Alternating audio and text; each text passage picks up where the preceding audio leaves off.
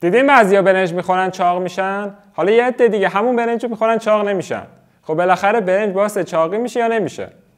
سلام من علیرضا زاری هستم. تو این ویدیو می‌خوام برات توضیح بدم که بالاخره سعدی باعث چاقی میشه یا نمیشه. در ادامه با من همراه باش.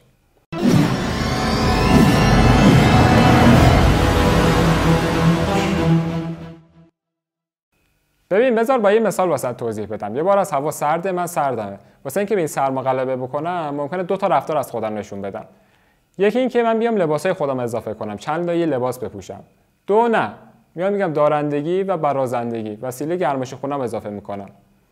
شوفاژمو درجهشو می‌برم بالا. پکیجمو اضافه می‌کنم. بخاریمو اضافه می‌کنم. حالا این چه ربطی داره؟ ربطشو بهت میگم. اما قبلش اگه هنوز کانال ما رو subscribe نکردی دکمه subscribe بزن زنگوله کنارشم فعال کن. اگر هم داری اینستاگرام ما رو دنبال می‌کنی ما رو فالو کن تا از ویدیوهای بعدی ما هم با خبر بشی. ببین داخل بدن ما هم داره دقیقا همین اتفاق میفته یه سری افراد هستن وقتی که سردشون میشه وقتی که سرما بهشون غلبه می‌کنه چیکار می‌کنن؟ میان چربی خودشون اضافه می‌کنن. بعدا با چربی با سرما مقابله می‌کنن. این افراد چاق میشن معمولا واسه اینکه لاغرم بکنن باید بیان از گرمیجات استفاده بکنن. اما تیپ دو کسایی هستن که چی؟ سوخت و ساز بدنشون می‌برن بالا. وقتی سوخت و ساز میره بالا معمولا یا اینا لاغر میمونن یا لاغر میشن. اینا واسه اینکه چاق بشن باید بیان از گرمیجات استفاده بکنن. پس ببین خیلی مهمه بدونی جزء کدوم تیپ هستی. راه تشخیصش هم آسونه.